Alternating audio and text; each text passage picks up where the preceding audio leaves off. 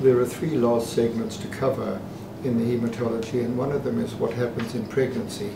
It should, should just be remembered that pregnancy is not a disease, it's a physiological process, and therefore to find the patients that, find the individuals who should really not be called patients, mildly anemic with mildly low platelet counts uh, is normal, and it's vitally important to distinguish physiological range that's acceptable from those where this is abnormal and the patients require usually iron replacement and bear in mind that with low platelets or thrombocytopenia, occasionally this might not be attributable to the pregnancy but might actually be due to an autoimmune disease needing steroid treatment.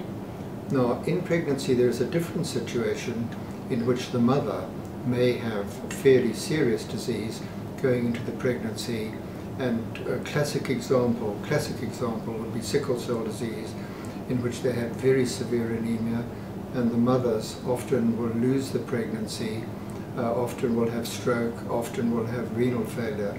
And so when the patient with a low hemoglobin seen in pregnancy, it's very important to be certain that there's no underlying serious illness that will alter the way in which the pregnancy is conducted.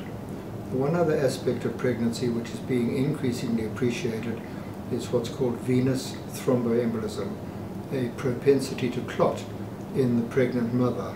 And this sometimes is a consequence just of the pregnancy, but occasionally may signal uh, the occurrence of a congenital or inherited defect.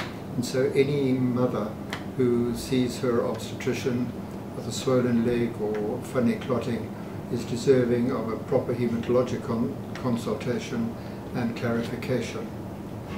And if we move on penultimately to the bleeding patient, physiologically, as we go through our daily lives, we're constantly being bumped and bruised and fortunately do not have sustained hemorrhage.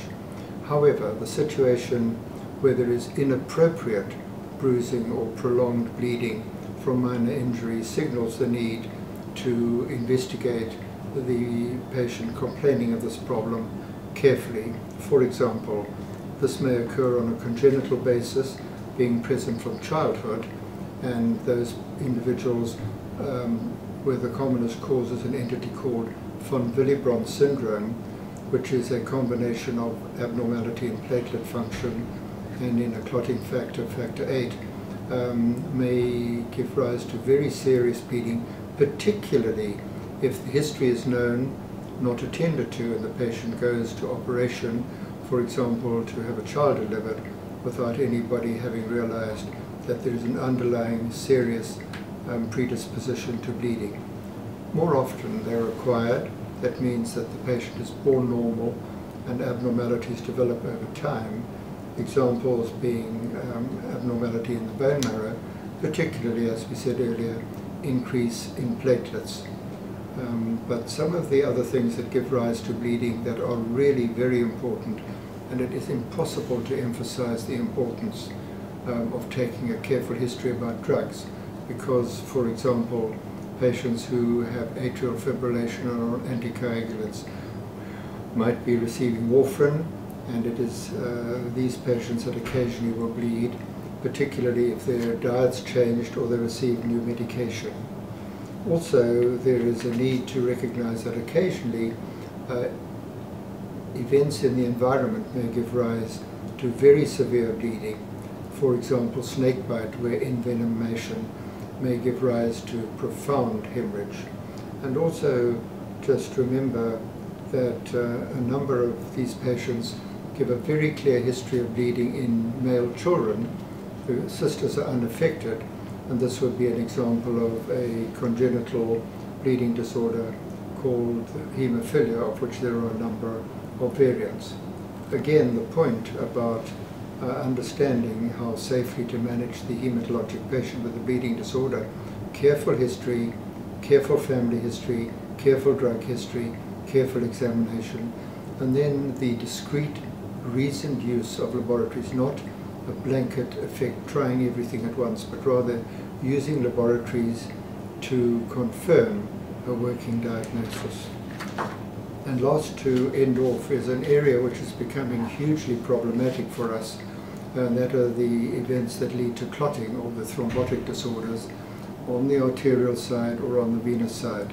Now, some may be acquired and are found lifelong and represent abnormalities in naturally occurring clotting mechanisms. We don't need to get into specifics other than to perhaps remember that if there is a history in a patient who clots as a stroke, for example, or a heart attack, a myocardial infarction, it is very important that this individual be investigated by a competent a clinical or laboratory hematologist to be certain that they have not inherited anything from mother and father.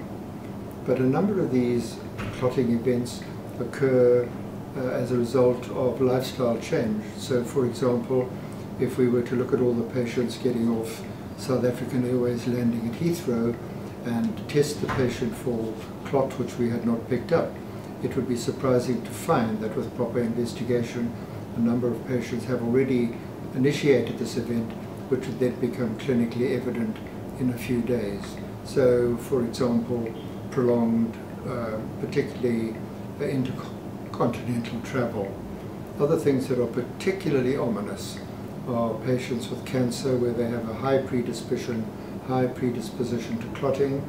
And the, the point to take home in the thrombotic disorders, the clotting disorders, is that everything, once you have a suspicion, can be dealt with by appropriate tests in a well-trained, well-structured um, hemostasis laboratory.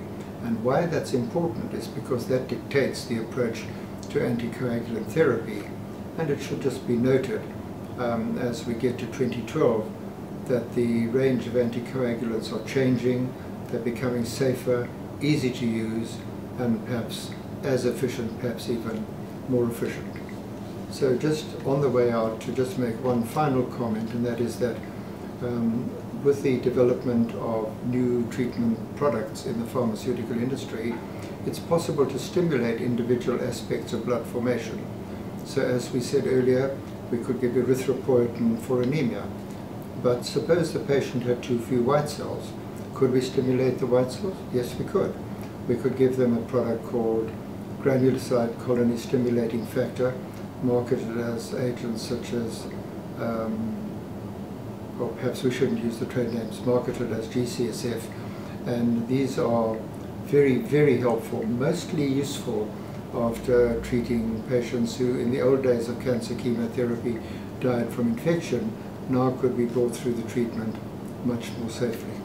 So I wish you lots of success in your career as underwriters and remember that uh, help is as far away as only one phone call. Thank you very much.